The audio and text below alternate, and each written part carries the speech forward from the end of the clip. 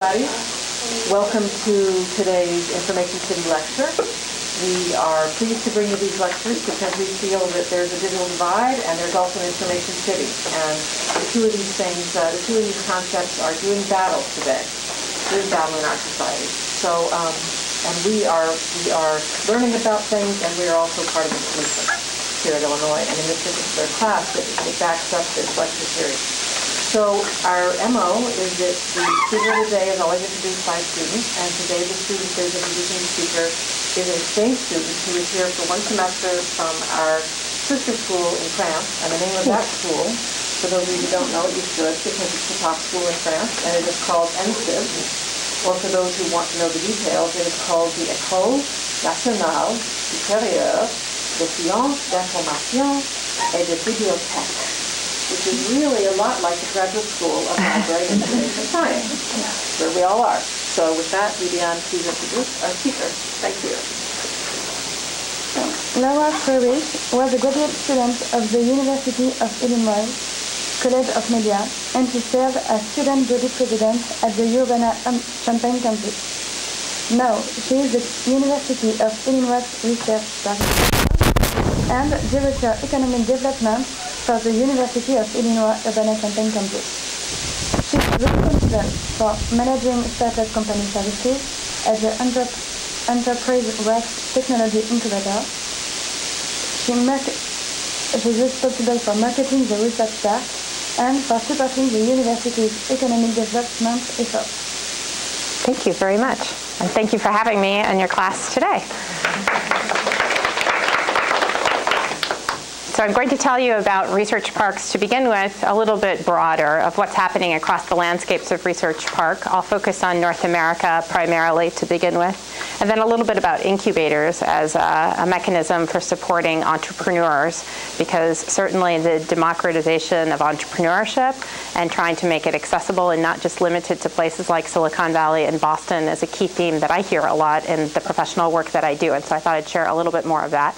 Um, before I do that, I'll say thank you to Sharon Johnson and others in the Graduate School of Library and Information Sciences that have helped to connect our tech companies to this wonderful program on campus. Uh, companies continue to hire more students from GSLIS in the different enterprises and have repeatedly told me how pleased they are with the outcomes they've had with students, how impressed they are with their education, and the increasing importance of informatics in their own businesses, whether that's knowledge management or data curation or market research or patent research or whatever it might be. There are so many different areas that you really could apply the skills you have here beyond maybe traditional library settings. And I think that that's an important thing that's happening across our companies is the importance of uh, being more interdisciplinary and um, seeing the importance that information can play in their businesses. So, uh, to begin with, I'll, I'll, talk a little bit about this idea of research parks. Uh, it's not a new one. Research parks have been around since uh, the granddaddy of research parks in the U.S. is maybe credited Research Triangle Park with doing it first here in the U.S. That was nearly 75 years ago when three universities in North Carolina decided that they would create a triangle area and that that would become a tech location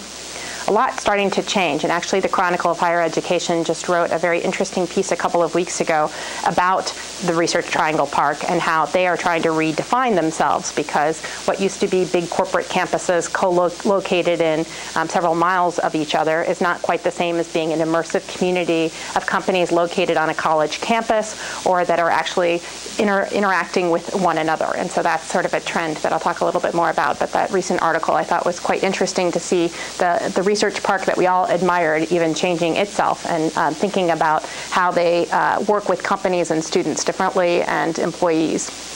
So across the world, there are many research parks. Uh, research parks um, could be defined in a few ways. They're tech parks, they're industrial parks, they're research parks. The business I'm in is university research parks or university tech parks, which means that there's usually a, a large research university that has taken on the activity of creating a land area where they will attract businesses. They usually support entrepreneurship in some way, and they may have federal labs or some other component of research that's incorporated as well. In addition, federal labs themselves are doing research parks. So Sandia in New Mexico is a good example of a strong research park associated with a federal research lab. But all of us in common have something is that we are coming at it with an academic or a research type of context versus truly just a real estate play is what I would say. When it's done effectively, it's trying to bridge industry and universities effectively together in that setting. So about 700 or 800 of them exist around the world if you looked and um, interviewed our peers. And um, in the US, there are roughly 120. And you see a map down there of where these locations are. Importantly, uh, for many times when we talk about the roles of research parks is that they are not limited to the coast. And in fact, many of them have been built across um, university cities that are located outside of mainstream large cities. Although they have also started popping up in, in urban environments. And that's really due to this change of more live, work, play types of environments as well. The activities or missions that they have associated with them usually is that tie of how do we get universities and industry talking to one another to create startup companies and have a nurturing home for them and to have regional economic development. So in almost every case, they're going to tout job growth, economic impact, tax impact that they have in their communities and trying to create universities as a driver of their economy. Um, so, oops, sorry. University research parks versus tech parks. So I kind of talked about this as being something that um, I lost it. Battery are bad. The, the space bar will also work. Just slow. About that battery. Here we go. Okay, so uh, university research park versus something that's simply a tech park. As I had already indicated, usually there's a university driving it. There's also usually a master plan of some sort.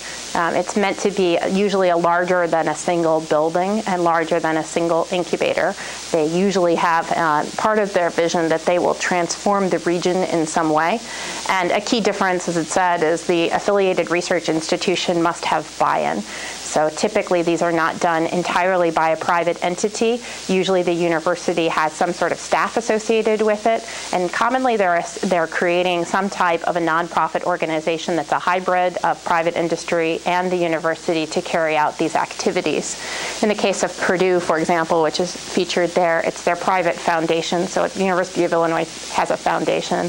That's not where we choose to house our research park activities, but that is common for some of the tech transfer offices as well as research develop, research park developments. Um, also, in some cases, there have been multiple institutions that have come together to do these types of activities. So when we talk about industry relationships, that's usually one of, as I said, the key goals. And that can happen in a variety of ways. In our park, we see that routinely.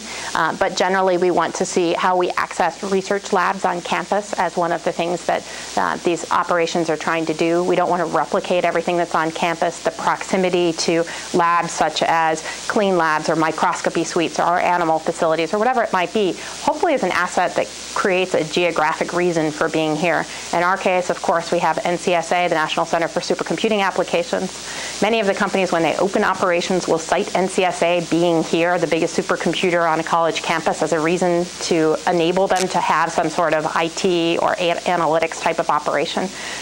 In actuality, many of them don't use it, um, but it was credibility that was important for many of them to cite this location in a place that the National Science Foundation said is the home of big computing. So sometimes assets like that are really a differentiation that validates a location. And then, as I said, one of the key things is certainly the workforce, and I'll talk more about workforce as probably being our most important asset that we have here. So the research park here at the University of Illinois um, was developed with a purpose of furthering economic development. Recently, when she arrived at the University of Illinois went on a listening tour of interest areas to different constituencies, and one that emerged was economic development. So that's recent leadership highlighting that as an importance, and I'll say she's been very committed to that and actively working to attract companies to this location.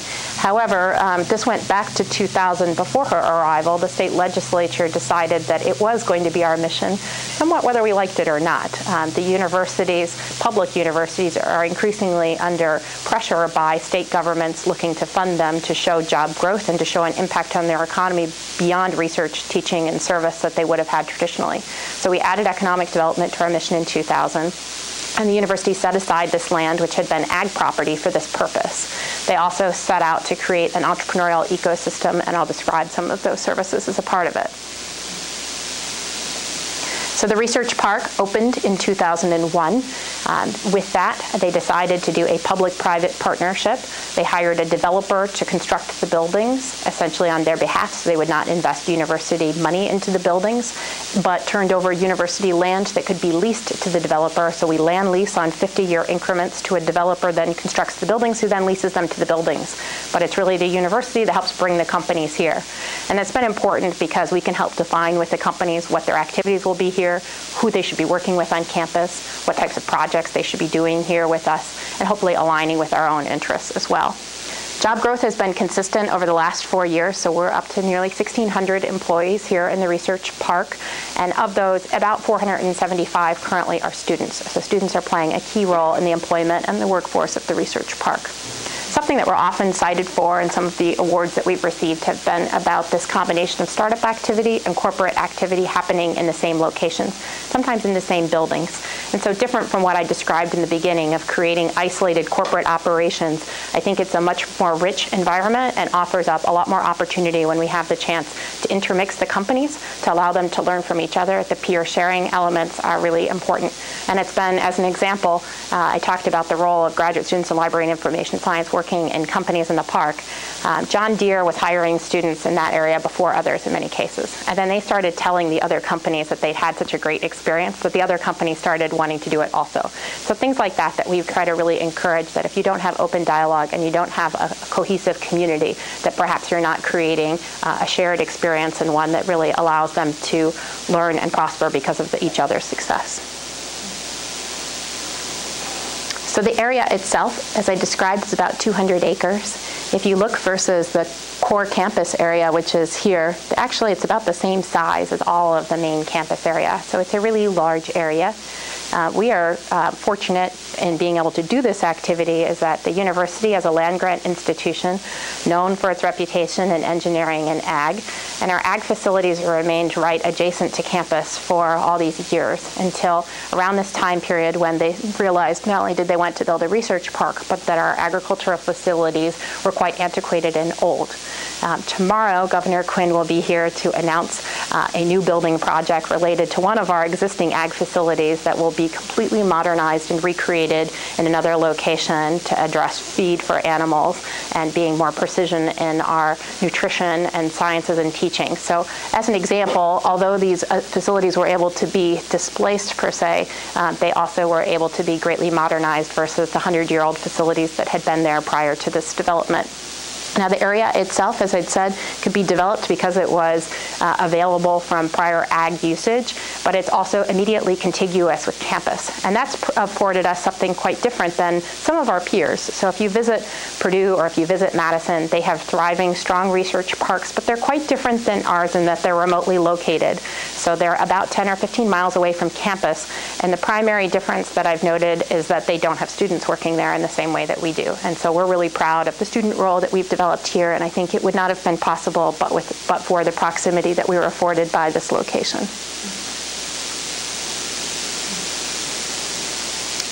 Okay, so if you went here in 2000, I graduated here in 1999, and that's about what it looked like out that way. It was not an area that anybody visited for any real purpose unless you were studying animals for some reason. In fact, there were fish ponds there, there were cattle, there were sheep, there were pigs, there were a lot of different animal facilities there. And so it's really quite remarkable that over this period of time, it's completely transformed. We've built a new building every year since it opened.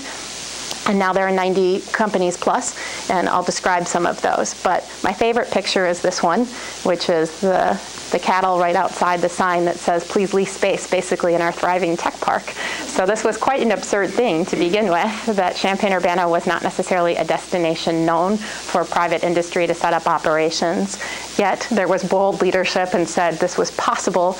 And really what happened is the snowballing started when many companies started to come here and others wanted to replicate what they were doing. So success begets future success and taking certainly the risk at that time to see what was possible. Um, so since that period of time, we've obviously added a lot of different companies, and as a result, the economic development impact that we have has been realized from that mission that was created back in 2000, where we are contributing to the local tax base, as well as creating jobs. Um, one of the important things um, from an economic development standpoint is taking land that had been not property tax eligible, that's university land, is the university's property tax exempt, and by building private buildings on that land, it becomes property tax eligible, which then helps the schools, the libraries, the park districts, and others to have a taxable source. And in addition, the payroll, um, the jobs in the research park are very high wage jobs, and I'll describe some of those, but not only do they have the direct uh, wages, but then indirect and induced jobs that result from them as well. So the corporate operations that exist in the park are very diversified. It's one of the things that we enjoy most about the work is that it's not one particular sector. If you look at different tech cities across the US and you may hear of certain themes, certainly Boston is known for biotech, San Diego, biotech as well, and Silicon Valley um, is good at many things, but largely known for um, digital media, software types of companies we think that one of the things that's really great about our park may be harder to market, but it's the diversity. So not only do we have people who are really great at software, and that's a key area for us, but we have people who are addressing technologies and scientific areas of many different application areas. And I think that creates a really rich and rewarding experience for the people that are there. Uh, many of us, I think, enjoy being in Champaign-Urbana because of the very high educational attainment rate of our community. Of it's not uncommon to bump into somebody who has a graduate degree and can tell you about some expertise they have, and whether that's history or English or some scientific domain. There are a lot of smart people in this town, and I think for our companies located in the park, the ability and proximity to be next to people in many different scientific fields has been important to them to show how they're being used in industry. So the companies in the research park are all over the place in terms of sectors, and we specifically do try to court companies that are in an area that we don't have yet. Um, so we're always in process of finding new companies. Um, two of the newer companies that opened include Grainger, which is the largest industrial supply company. Many people know Grainger on campus as a name because of the Grainger Library, the engineering library on campus. When I was in school here, I never knew that that meant anything more than the name of a building, when actually the fortune that made the money that donated the building and then helped to give us now $100 million for new faculty hires and part of our ECE building funding was because this man became very wealthy on a business that was called Grainger, which is still now a Fortune 500 company and sells equipment to many different types of industrial settings. They're opening a new operation, they actually have already started here on Internet of Things, which is an emerging topic of not just having uh, devices that integrate with software, but having devices that are smart and have electronics and mechanics and um, software components all integrated together. And then another new operation that I won't describe in a lot of detail is AbbVie, which is uh, formerly Abbott Pharmaceuticals, which is all around um, also a joint interest in informatics and in software. So bioinformatics is certainly something we're seeing emerging as an interest area at the university. So the companies are here. I already said the secret sauce to it is the students more so than maybe the original founders would understand. Uh, we want the companies to work with campus in a variety of ways, and they do, but the reason they usually open in the first place is our students. So why? Because everybody wants lots of smart people to work for their companies, and it's tough in certain fields that are particularly attractive. Um, the most commonly recruited positions right now are software and data sciences types of positions. So your ability to uh, talk, I think, certainly about your skill sets and informatics is right on for where people are. And it's not as simple, I would say, although I'll uh, note that computer science is very recruited. We often encourage our companies to think more broadly about that topic. Um, computer scientists alone aren't necessarily the best informatics expertise area or data analytics. They need to have other nuances to be incorporated in addition addition to coding. It's really the taking the information and making it actionable or decisions around it or the visualization of that information that's important as well. So students working in the research park, as I had already described, being a key part of our success. Uh, they represent about a third of the workforce. The most common types of projects we see are modeling and simulation and business intelligence, as I'd said, um, user interface design, things like that. And these are uh, just examples of types of degrees that uh, people go looking for, um, just to give you some sense of the workforce itself in the park for student recruitment, the types of projects that we see in our job descriptions from the last year. And I'll note GSLIS, one of the top areas that people recruit from. Um, students start as early as freshman year, and so the, the youthful environment we have is a neat thing as well. Um, companies starting to recruit because the, lar- the longer they re- can uh, have that student working in their operation, the better their retention rates are. Students work 10 to 20 hours a week, and um, they work full time in the summer. They are almost all paid internships. It's very rare that something would be just for course credit, um, and they're paid better than other jobs in the community. We have lots of ways to hire students, and I'll just mention one in particular. For the University of Illinois, one of our assets is that um, we have many smart students in scientific areas or technical areas, but we also have a large international student base, uh, the largest university for um, international students of any public university in the U.S. And hiring students is still a challenge. Uh, many of you know the immigration debates that are happening, but unfortunately have not been solved yet. And that means a lot of students that might seek to be hired either while they're in school or post graduation that are still challenged. And um, it's even greater on the entrepreneurial side where international international students are quite constrained in ability to start companies. Um, on the employment side, the university has played an active role in helping with employment of students. Students on an F1 or a J1 visa can work in the research park. We hire them through the university and allocate them to the companies, which allows them to perpetually work for companies that otherwise could not hire them on their own. So that's one of the ways the university has been proactive in addressing this need. Uh, this picture at the bottom is Abbott um, trying to recruit Chinese students because our companies are not only recruiting uh, for their local operations, but seeing their businesses increasingly be global. So um, I had the good fortune to be in China this summer with the University of Illinois and visited Anheuser-Busch and Caterpillar and GE and Caterpillar, or um, I'm sorry, Caterpillar, Abbott, and AB InBev that are in the research park as well.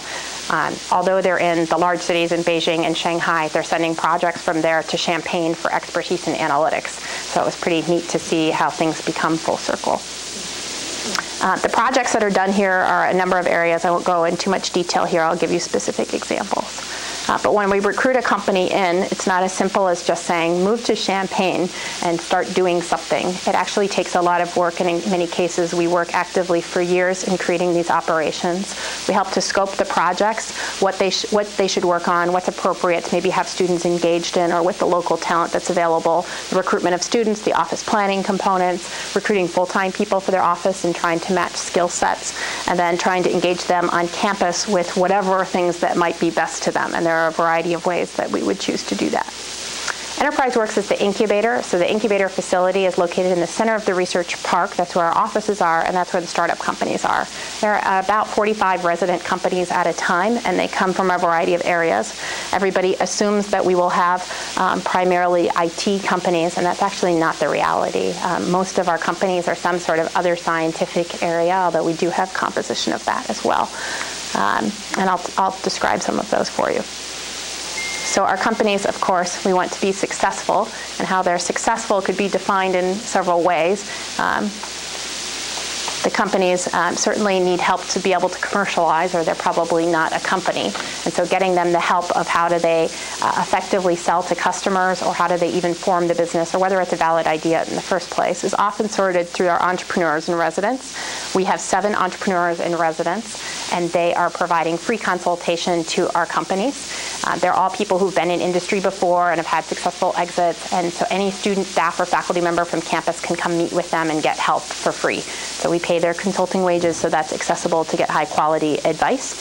Uh, we also have a lot of companies that rely on SBIR funding, which is Small Business Innovation Research funding. Every major federal agency sets aside 3% of its research budget to be awarded to small businesses, and that's a key source of funding for small businesses and associated with universities often.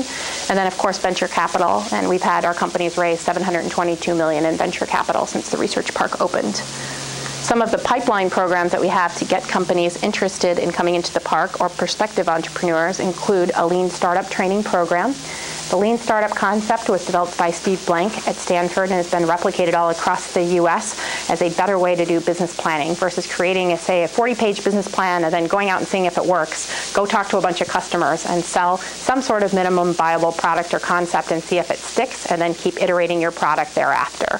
So we've had a lot of teams go through this now at the University of Illinois. A National Science Foundation site is here, and um, it's a lot of calling on customers. It makes people a little uncomfortable. It's professors and graduate students that all have to report every week on how many customers they talked to and what advice they got and whether there was any traction in a certain area and defining their value proposition. And so that's about six or seven student, student and faculty teams at a time that do that over an eight-week period of time.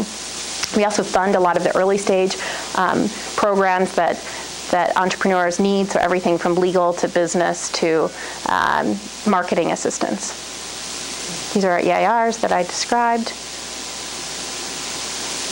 And another component that I like that we added is a designer in residence. So another emerging trend, if you're doing software development or you're doing a device or whatever it might be, the importance of design. So the Fine and Applied Arts School works with us quite a bit now.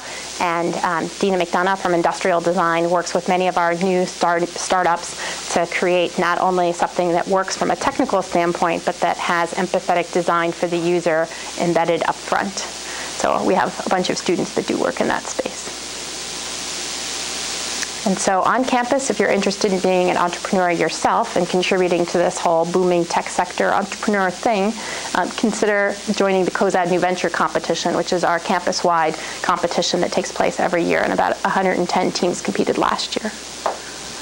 Um, across the park, we think it's important, as I said, for people to talk to each other. So not only being technically good, but uh, integrated. So we do a whole lot of events. Um, this year, we're actually on track to do about 200 events. So it's perpetual, and we have everything from fun things like tomorrow night will be trick-or-treating.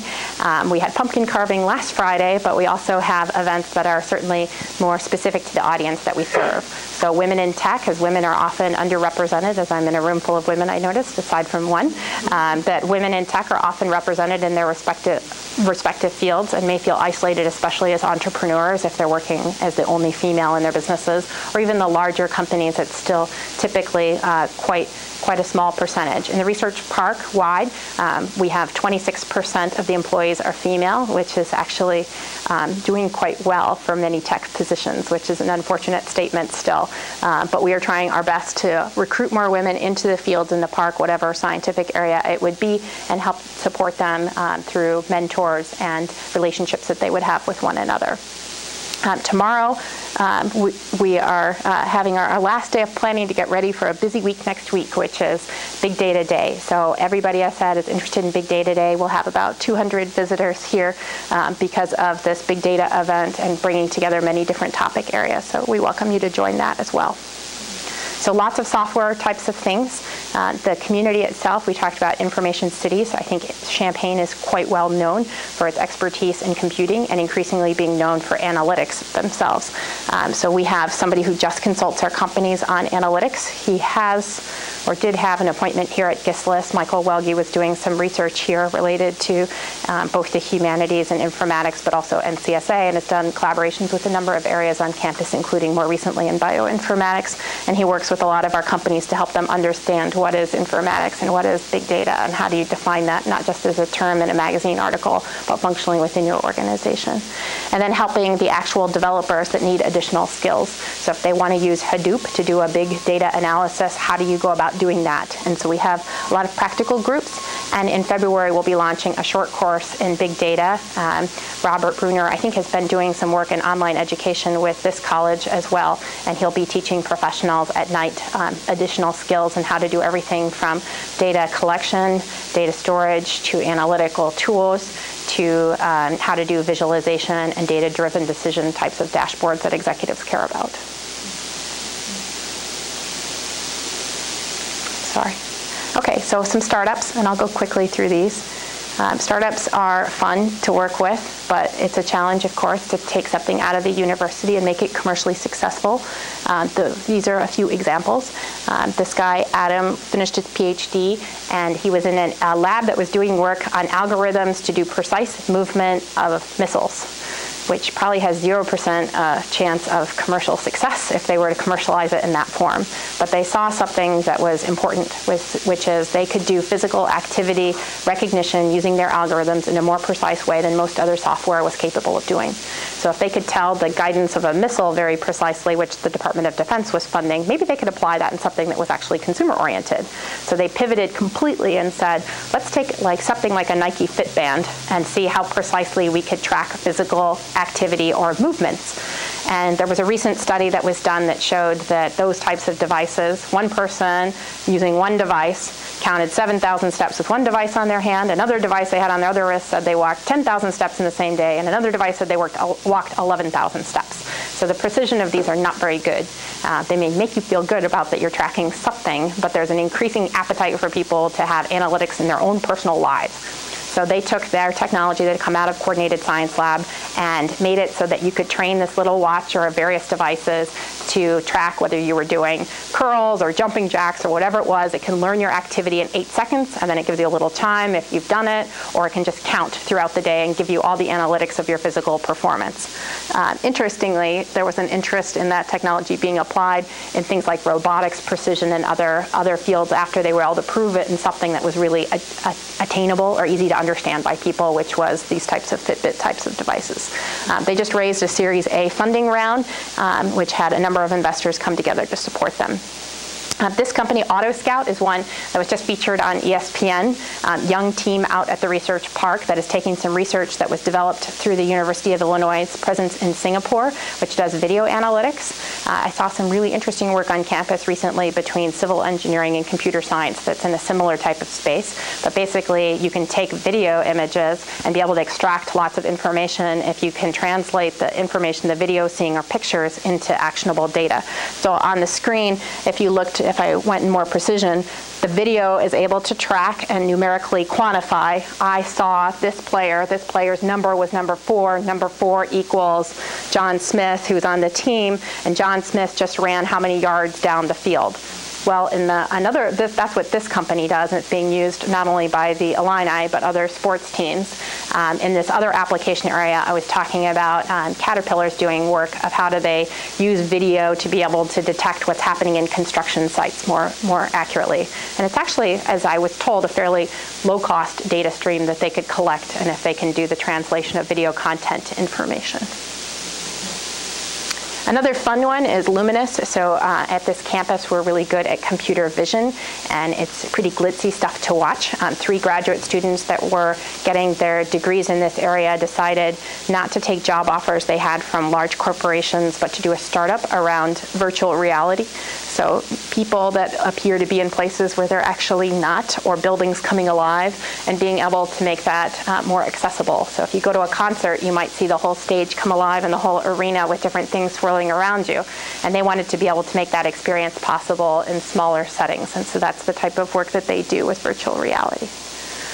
Um, this one is a company that's expertise is in IT security, and so that's an area of strength on our campus. Um, we have several startups in that area where they're working on how to crack uh, essentially enterprise um, uh, systems to see if there's any faults in their systems. And they also have raised money and have industry partnerships in a very short amount of time.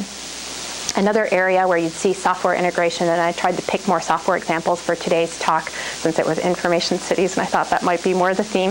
Um, ag informatics is one that we're happy to see growth because I think there's a very natural thing that should happen here, which is the expertise of ag inherently in central Illinois being married with engineering or informatics or other expertise areas that we have. So the ag companies seem to increasingly be coming to us and saying they want more precision in how growers can achieve results, not only at a big corporate side, but certainly the growers themselves want the ability to obtain data. And this is a company that sells direct to growers to help the individual farmer to be more efficient in their operations and have daily analytics of how their performance is going. Oops. Uh, this one, one more. One more fun one. Um, this one's not an IT company, it's a material science company, but it's one of our darlings right now because they're shipping a whole lot of product out. And there's nothing better than seeing a whole lot of boxes go out of the building, which means that's, that's a lot of sales happening. Their entire, their lab suite's about the size of this room, and it's almost all filled with boxes right now. Yesterday, I could barely walk in the place because they had thousands of boxes ready to deliver product. And the story of that is that this was science developed at the University of Illinois by a professor, Jennifer Lewis. She's one of the best material scientists in the world in this type of work of creating conductive inks and a variety of other novel properties. She moved to Harvard and she took her lab with her research group essentially and she was going to do her startup company in cambridge and everybody thinks of cambridge as a city that's especially easy to do startup companies. And she got there and she said she was so used to working in a smaller town where she knew everybody and the resources that were available that she and her team realized they actually missed the small town easy accessible things that had been put in place in champaign-urbana so they moved her postdoc moved back started the company and enterprise works our incubator and quickly thereafter they launched a Kickstarter campaign. And if you're not familiar with that, that's crowdfunding, which has really changed the way some of companies are getting started. We've had three kicks, three crowd-funded companies out of the building in the last two years, uh, where you put your video out there and consumers vote basically by pre-purchasing, and then that enables your business to launch. And they were wildly successful. As you can see, they raised $674,000 in January. That was in 28 days. Their goal was $85,000. They thought they would sell a small volume volume of these kits that allow kids primarily to do circuitry. They can draw with a ballpoint pen circuits. So you simply draw, do a little dot, and then you draw this uh, line, and then you can create things that sort of come alive with circuitry. So they create these circuit scribe kits, and they sold 15,000 15, of them in January before they had a real production capacity. They didn't know how they were going to make them really. They ended up having to create partnerships in um, China for some parts, Japan for some parts. Some of it they would have to do here. And one of those little interesting things that you don't think about later is no pen manufacturer would put their ink in their pen machines because they said it had never been tried before and they were worried it was going to clog it. So guess what? Students are filling lots and lots of pens in our building right now with conductive ink. Um, so they ended up having to ship all this product out. And in addition, they um, have uh, relationships with Autodesk. So Autodesk makers of Adobe, now selling their product. They're selling 2,000 of their products a week right now. So their capacity issues are significant, and it's been neat to see. Um, they also have relationships with, uh, they sell on Amazon, and they also are selling through some major retailers now. Um, so large companies and I'll hit a few. Um, John Deere, as I'd mentioned, does employ students in Graduate School of Library and Information Sciences. Uh, the reason they do that is that they have students working on research that typically might have been done in a corporate library, but then also across different business units. So what mergers and acquisitions should they pursue? What's the landscape of a particular product area where students can use journals and even in language they've said that's really important to them as a global organization that people could translate things in Chinese to be able to say um, in this market, what is the what are some of the nuances that we wouldn't pick up if it were translated that you could tell some sort of sentiment analysis of whether this company was a good partner or not, or lawsuit research or things like that that might happen. Um, other increasing areas for them are looking at the farm of the future. They're doing things in various analytical capacity, robotics, and a few other types of projects as well. Um, Caterpillar just celebrated their 15-year anniversary, and they have added GSLIS students as well as statistics students. They have a new analytics lab that they're in the process of building out. It's called Information Analytics, which is a growing area. I was just with them before this, and they were very proud of this growth that they've had, a company that was very stuck on mechanical engineering or actual equipment design, and seeing now that their product will change if they can do better analytics as well. Um, State Farm has a long history of doing analytics here with employment of 90 students at a time.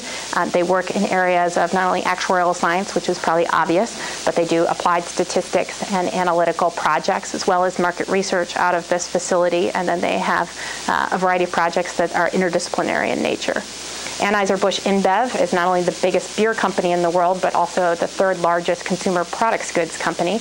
And with thousands and thousands of products, they're trying to optimize those products in different markets or different marketing promotions that they would use, or to do ag forecasting to know how much barley needs to be used, or to be able to predict the weather so that they can understand consumption. And they do that with the help of many students and some researchers here. Um, one of the things they also have is one of 20 companies that has an open pipeline to Twitter data data. And they've been working with Jana Diesner out of this college to be able to make that more actionable so that they can do better marketing um, around things like sentiment analysis. Yahoo is our largest full-time employer in the research park. So an Unusual story as we talk about geographic locations of why Yahoo chose here. They chose here because we have smart full-time engineers that are in this community. They hired a bunch that had been formerly with Motorola that all decided when they lost their job one day that rather than them all fend for themselves and find whoever would pay them the most, they would all band together and said, you have to employ all of us or we're not going anywhere. We want to stay in Champaign. And so Yahoo vied to get those employees and hired 100 of them in mass. And that was done in a 30-day time period, which is really remarkable. A lot of changes with the company since, but Yahoo says this is now the highest retention rates they have of all of their data pipeline engineers, um, and their Hadoop expertise is here. They shifted that from Sunnyvale, a core competency of the company, saying it was so critically important that it couldn't stay in California, which I love. Uh, it had to come to Champaign where the workforce was stable and very skilled. And in addition to it being a software development type of operation, uh, they're not a research center formally here. They've had 50 patents out of this office, which kind of gives you some idea of the ingenuity and invention of the people who work here as well. Uh, Dow Chemical works on software. I won't go into it in detail. Abbott works on nutrition, infant formula ingredients. As an example, ADM works on new bioproducts, byproducts of biofuels, Littelfuse, fuses for electronics, the high power test lab, and the companies work with our startups. And so that's one of our key areas that we want to see more of is how do we integrate large and small companies together. So um, if you're interested in entrepreneurship and at uh, more of a statewide level, I'd note that one of the things that we've been doing is evaluating where are there other incubators and where are there successes throughout the state, the differences between rural communities, large city environments, and university communities and how they support entrepreneurship. And so we recently released a study on that that was done with the Urban Planning Department, and it was quite interesting to see how those trends are emerging. Uh, Champaign-Urbana, um, we think is one of the emerging tech cities. We think it's an information city that matters because of what we've been able to develop over the last um, several decades of work by this community, working together with the university to create a thriving tech location. Thank you. Wow. Thank you. Thank you for taking. Thank you. I'm sorry I talked too long. No, I don't think it was too fast at all. I have a couple of questions, but I won't go unless other people want to kind of think of their questions. Anybody? All right. Well, Okay. There's two things I, I wonder if we could talk about. One is, do you see any social entrepreneurship happening in the park, in the research park? I'm really interested to know what that is. And the other is, this is sort of a picture of a new Champaign-Urbana. You know, literally, it was in Cowfield in 2000. Are there measures that you have that indicate the connection to the old Champaign-Urbana? Mm-hmm. Like maybe that one measure might be the diversity of the workforce, the locale, the, the local origin of the workforce. Or maybe there's other measures that I'm not even aware of to just see to what extent old Champaign-Urbana is, is, is growing through Research Park, or is this something entirely new? This is really connected with the university, but not with the local community. I'll start with question one, which would be, I think you're getting, social entrepreneurs can often mean those that have some sort of social cause they're pursuing or some sort of um, goodwill, changing the world uh, as part of their mission in addition to making money. And we've seen quite a bit of that in the park. Um, there are uh, several faculty that are particularly good at that. Um, Brian Lilly in the College of Engineering has done a lot of work with students to develop products that are used in developing countries, um, which was everything from solar-powered lamps that could bring light to places like rural India where they don't have it, to um, a new company that they just created called Sun Buckets with uh, Professor Litchfield in the College of Engineering that's trying to create um, solar-powered stoves where you don't have electricity and cooking can be a considerable burden on populations that are trying to get firewood all during the day. And if they had an ability to create another heat source, that it matters. And we just chose to give them give them some funding, and they've gone through the I-Corps program. We had another student company working on prosthetic devices. So how in developing countries, when a major um, natural disaster happens like an earthquake, do you get prosthetic devices to a population? Well, maybe they don't need to all be custom fit as they are right now, and that you could create an adjustable prosthetic arm. And so they worked on that for um, NGOs. Um, we have another company that's currently in the incubator called IntelliWheels that's creating wheelchair wheels that make it easier to push. Um, pretty simple um, concept was looking around campus, we have more wheelchair users than any other university, and we have lots of people who ride bicycles to class And this mechanical engineer thought of the idea of why don't wheelchairs have gears? Um, it would make them easier to push. And um, he created that with the thought that he would create an automatic transmission on a wheelchair, which NIH did just now fund, but that's not where they went first. Um, they actually started serving then a geriatric population and spent a lot of time here. They were students who probably weren't familiar with working with um, seniors in nursing homes, but that's exactly what they did. They went to a lot of nursing homes, including Clark Lindsey in town, and said, what are some of your challenges of your population and how do they use wheelchairs? Well, they found that people became sedentary because they were moved into an electronic, electric wheelchair, battery powered, and that once that happened, they really lost their sense of mobility and independence, and they're heavy and they can't get moved very easily. In addition, they no longer are considered to be independent and living in some of the nursing home definitions. So if you can't wheel yourself or uh, propel yourself to dinner, essentially, you are no longer able to stay in some care facilities in assisted living. You have to go into skilled care, which is much more expensive. So these students were able, I think what's great about working with them is to hear how they listen to the customer or the user and thought about how they could create something that would solve a pain point in their lives. Those are some examples.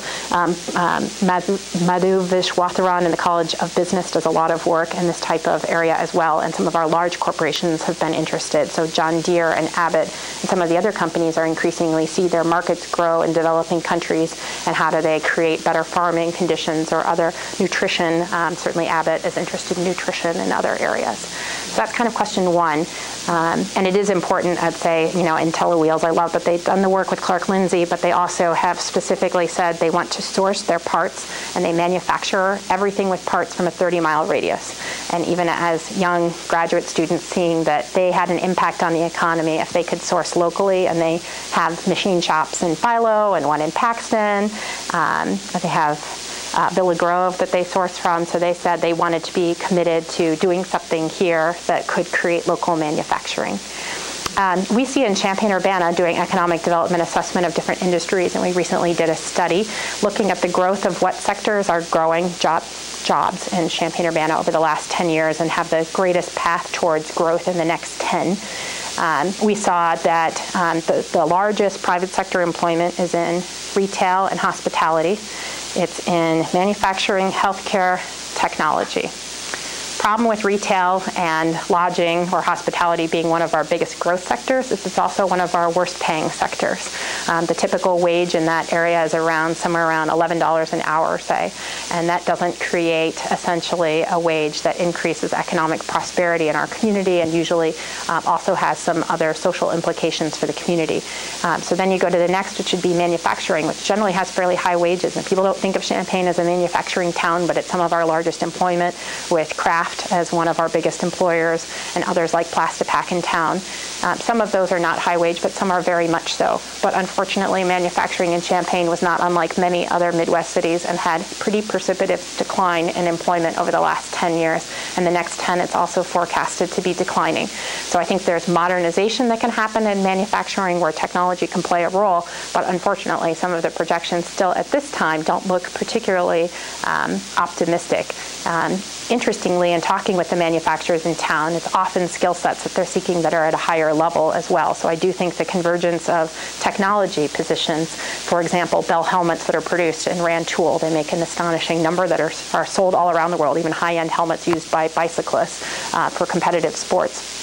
They said some of their key needs are supply chain management and engineers out of our university. So um, it's not just as simple as manufacturing. But the two sectors that are both high wages and high growth are the tech sector and healthcare in Champaign-Urbana. So those are where some of our emphasis have been of how do we attract workforce and how do we rally together as a community. So one of the endeavors that I'm working on is a campaign called You're Welcome, which we hope to launch um, in early spring, which is going to be kind of an, a little bit arrogant, a little bit irreverent campaign of all the great stuff that came out of Champaign-Urbana. You're welcome. And um, try to sell that in other markets as a reason to look at us as a community.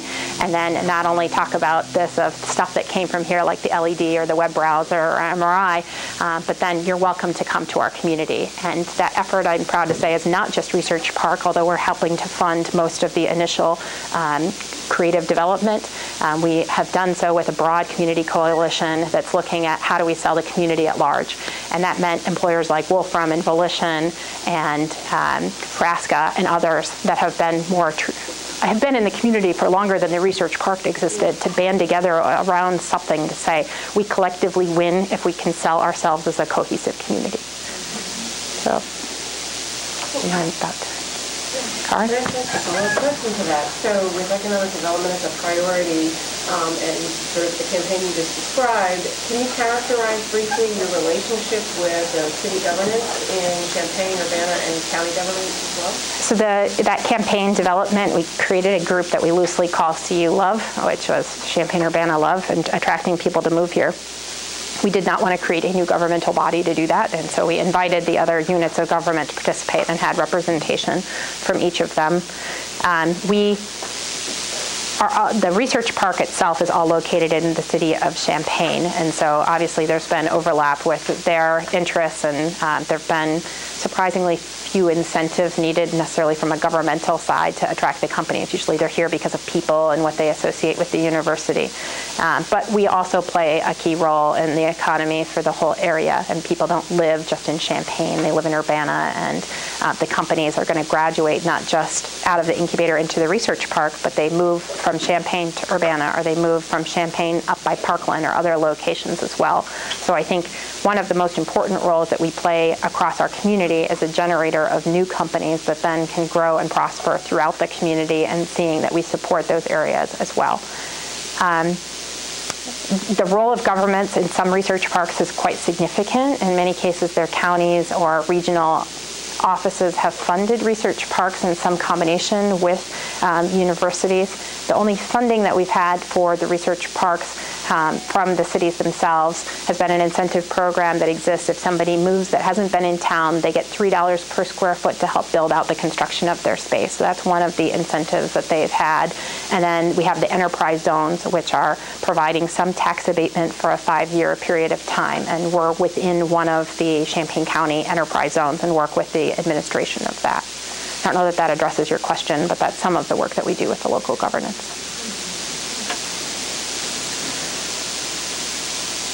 Um, Thank you.